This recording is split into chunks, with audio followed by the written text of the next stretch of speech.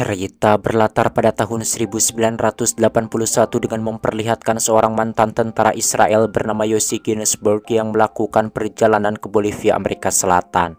Karena jiwa petualang yang dimilikinya membuat Yossi ingin pergi ke tempat-tempat yang baru. Yang mana dalam perjalanan di kapal Yossi bertemu dengan seorang guru sekolah bernama Marcus Tem.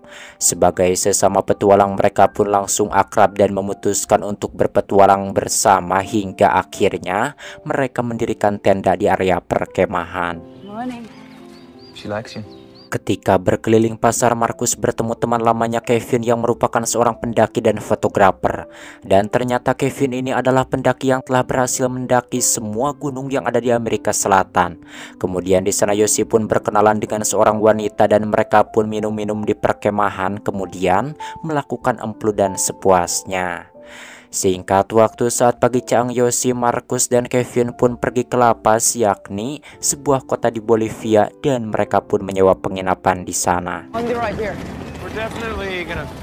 Dan saat Yosi sedang berjalan di pasar dirinya disapa oleh orang asing dari Austria bernama Carl. Namun biar saya mudah menyebutnya dan tidak balelol, kita panggil saja Ben.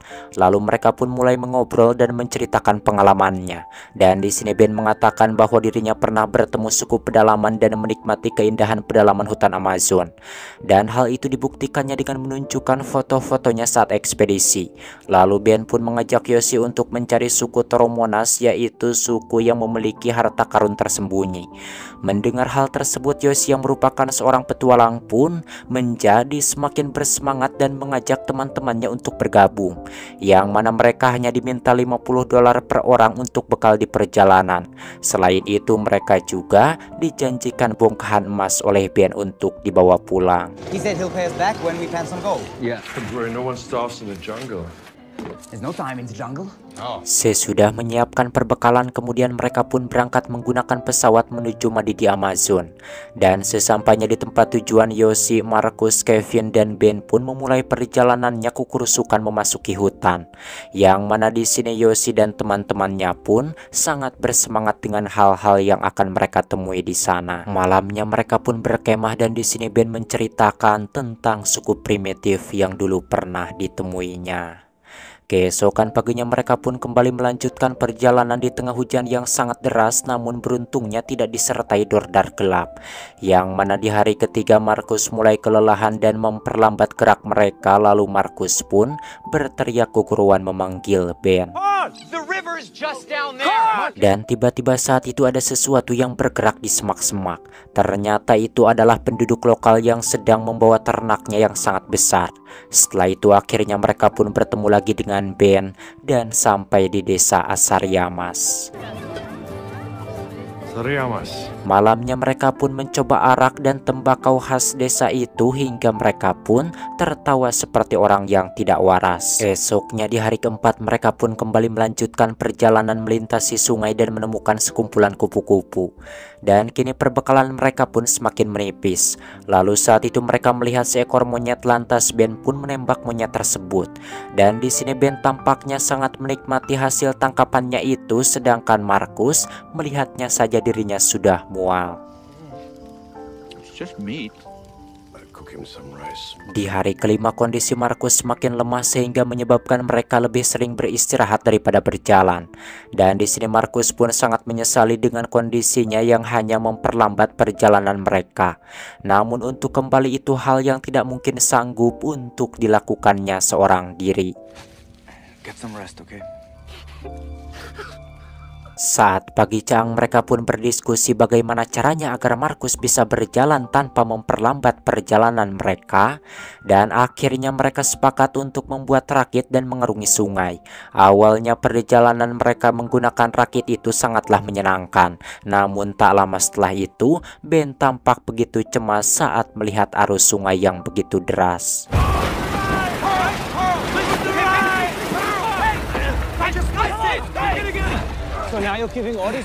Disebabkan emosi lantas Ben pun pergi meninggalkan mereka di tepi sungai dan masuk ke dalam hutan untuk berburu. Karena sudah lama Ben tidak juga kembali lantas Yoshi pun pergi mencari Ben ke dalam hutan. Dan tiba-tiba saat itu Ben melepaskan tembakan yang membuat Yoshi ngegebek rewas. Ternyata hal itu Ben lakukan karena ada jaguar yang sedang mengintai mereka. Sekembalinya ke tempat beristirahat, Ben dan Kevin tidak sepemikiran hingga akhirnya mereka memutuskan untuk berjalan masing-masing. Di mana Ben dan Markus akan berjalan menyusuri hutan, sementara Kevin dan Yosi akan mengarungi sungai. Just you and Kevin go on the raft. No, I'm sorry. I would really like to go with Carl. Sebelum berpisah di sana Ben berpesan kepada mereka agar tidak mengarungi Malpaso San Pedro karena itu adalah jeram deras yang diapit dua batu besar dan jarang ada orang yang selamat saat mengarungi jeram tersebut. Setelah semuanya siap akhirnya mereka pun berpisah di mana Kevin dan Yosi berangkat menyusuri sungai sementara Ben dan Marcus masuk kembali ke dalam hutan. Dan ini adalah momen yang takkan pernah dilupakan oleh Yosi dan Kevin karena Marcus dan Ben tak pernah keluar dari hutan hingga saat ini ini, mereka berdua pun tak pernah ditemukan.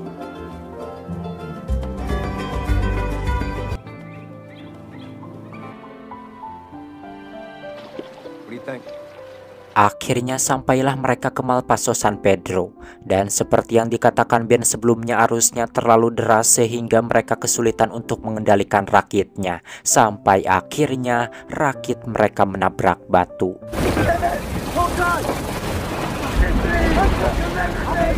Demi keselamatan mereka berdua di sini, Kevin pun terpaksa harus meninggalkan Yosi sebentar untuk membuat tali agar dirinya bisa menarik Yosi ke tepi. Namun sial karena derasnya air, Yosi pun hanyut terbawa arus membuat Kevin sangat merasa sedih.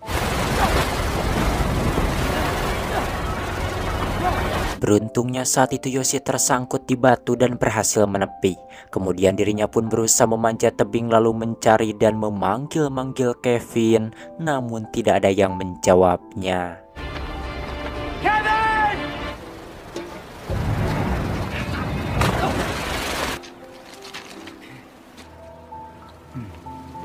Setelah berhasil mengambil tasnya, Yosi pun kembali ke kuruan memanggil Kevin. Namun hingga sore hari dirinya tidak menemukan tanda-tanda keberadaan Kevin. Tentunya hal itu membuat Yosi benar-benar sangat panik sekaligus sedih dengan nasib sial yang menimpanya.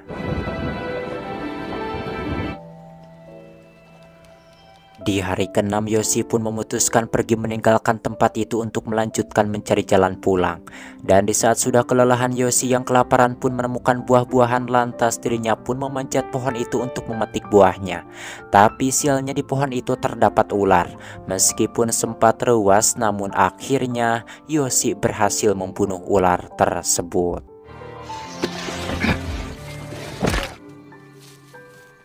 Singkat waktu, malam pun poek. Dan saat itu Yosi tidur di bawah pohon dengan beralaskan daun. Yang mana dalam tidurnya itu dirinya bermimpi berada di sebuah restoran.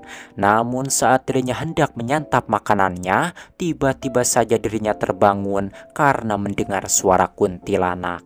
Hihihi, dicekek sih ya. Saya jadi merinding gini, apalagi merekamnya tengah malam tepat jam 1. Hi, sekali. 让。Yang mana pagi harinya Yosi pun melanjutkan perjalanan.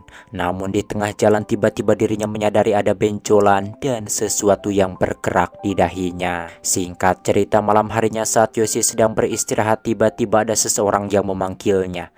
Dan ternyata itu adalah Markus. Namun saat Yosi menyalakan senternya, Markus menghilang. Tak lama setelah itu Yosi mendengar ada sesuatu yang bergerak di antara semak-semak dan ternyata itu adalah macan yang sedang mengintai menyertainya.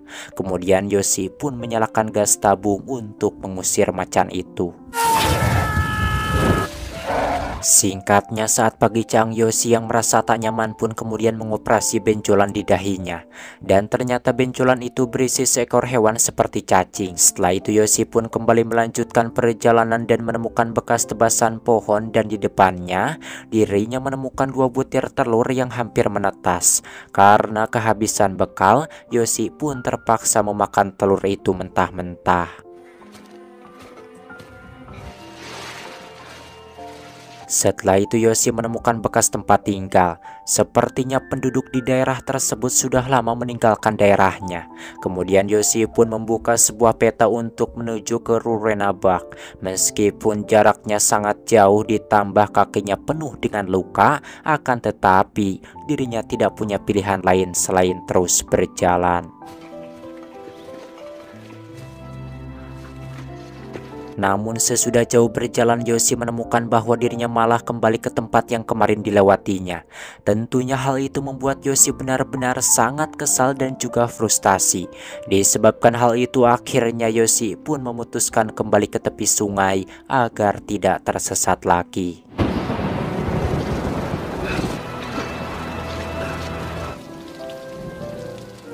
Sedangkan di tempat lain Kevin ternyata masih hidup dan diselamatkan oleh penduduk lokal kemudian dibawa ke daerah Rurenabak. Lalu di sana Kevin pun meminta pihak berwenang setempat untuk membantunya mencari Yoshi. Sementara itu Yoshi yang masih tersesat di hutan ketika sedang minum samar-samar dirinya mendengar suara pesawat. Kemudian dirinya pun keguruan sambil mengibarkan mantelnya. Namun Kevin tak melihat Yoshi karena pesawat terbang terlalu tinggi di mana kenyataan itu membuat membuat Yoshi benar-benar sangat merasa frustasi. Disebabkan tak berhasil menemukan Yoshi dari udara akhirnya Kevin pun diarahkan untuk menggunakan jasa nelayan lokal yang berpengalaman untuk mencari Yoshi. Setelah mendengar Yoshi hilang lebih dari dua minggu nelayan tersebut yang bernama Cece pun menolak untuk membantunya. Akan tetapi Kevin terus meyakinkan Cecep sampai dirinya ingin membeli perahu miliknya untuk melakukan pencarian seorang diri. How much? Melihat semangat Kevin yang menggebu-gebu akhirnya Cece pun mau membantunya dan mereka pun langsung berangkat saat itu juga. Sementara itu Yoshi terlihat sudah mulai kehilangan harapan setelah kesempatan untuk diselamatkan oleh pesawat sudah gagal. Namun tidak lama setelah itu dirinya melihat seorang wanita yang sedang menangis. Ternyata itu adalah wanita suku setempat bernama Aci dan tampaknya Aci itu sangat ketakutan kepada Yoshi. Tapi pada akhirnya mereka berteman meskipun tidak saling mengerti bahasa satu sama lain.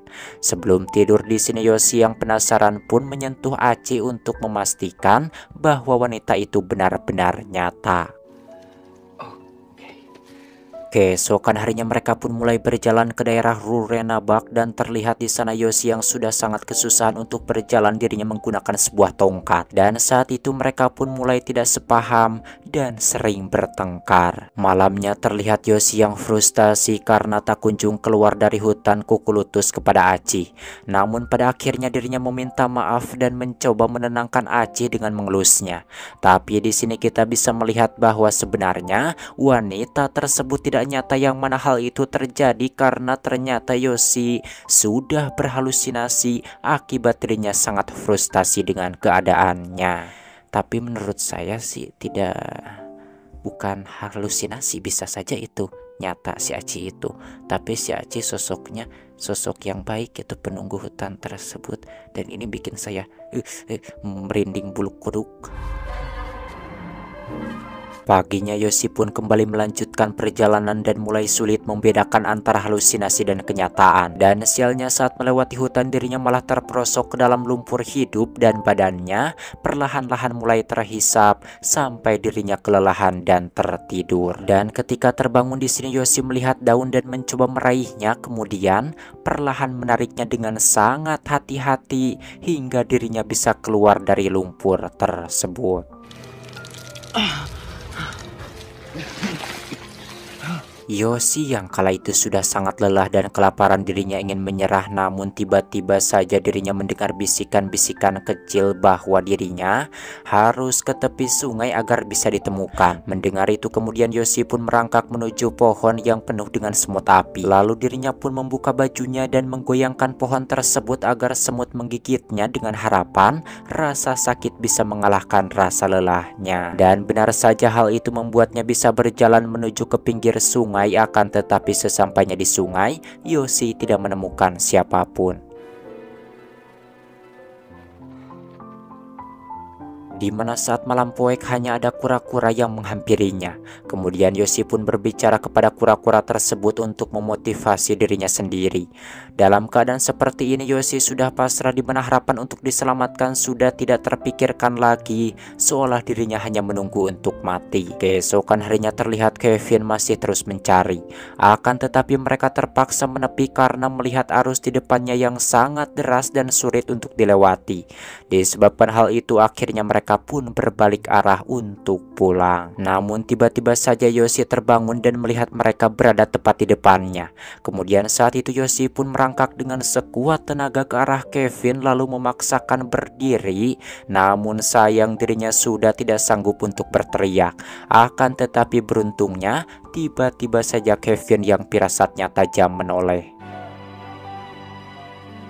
Melihat itu Kevin pun bergegas kembali ke tepian dan memeluk Yoshi yang sudah sangat lemah dan tak sanggup berjalan.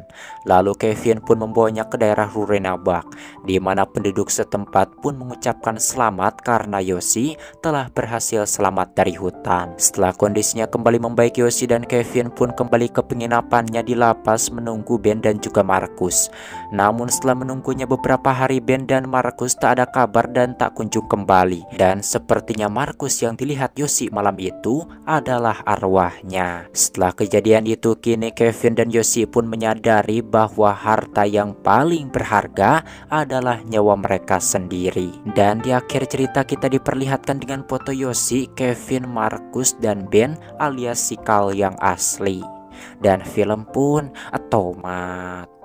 Pelajaran yang baik yang dapat diambil dari film ini adalah untuk selalu berhati-hati jika akan memasuki sebuah tempat yang sebelumnya tak pernah kita kunjungi dan jika kamu tersesat di dalam hutan pastikan kamu mencari arus sungai dan menyusurinya. Selain itu kita juga jangan pernah menyerah karena menyerah sama halnya tidak percaya kepada Tuhan sebab jika kita belum ditakdirkan mati dan kita mau berusaha maka pertolongan pasti akan datang. Akhiri saja saya Boy pamit dari ruang dengar Anda. Sampai berjumpa kembali di video selanjutnya.